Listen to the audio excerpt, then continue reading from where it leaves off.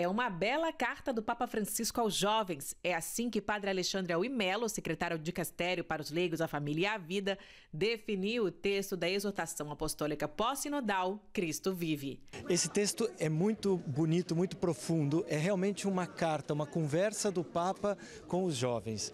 Vale a pena ler porque tem um estilo diferente, inclusive do documento final, porque é muito mais dirigido ao jovem, ao coração do jovem, com um estilo também de acolhida, em que o Papa integra muitas das coisas do caminho sinodal, como por exemplo partes do texto do, da, da, da reunião pré-sinodal, em que ele cita diretamente os jovens, ou partes do texto do sínodo mesmo, que é o documento mais citado.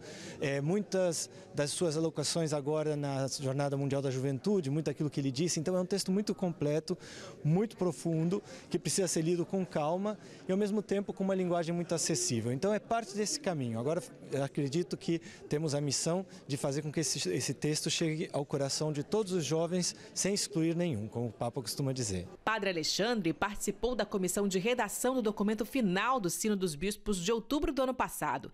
Ele destaca que esta exortação é única. É um texto único, nunca um sínodo da igreja tinha se ocupado dos jovens. E agora esse texto é o fruto de um caminho que continua.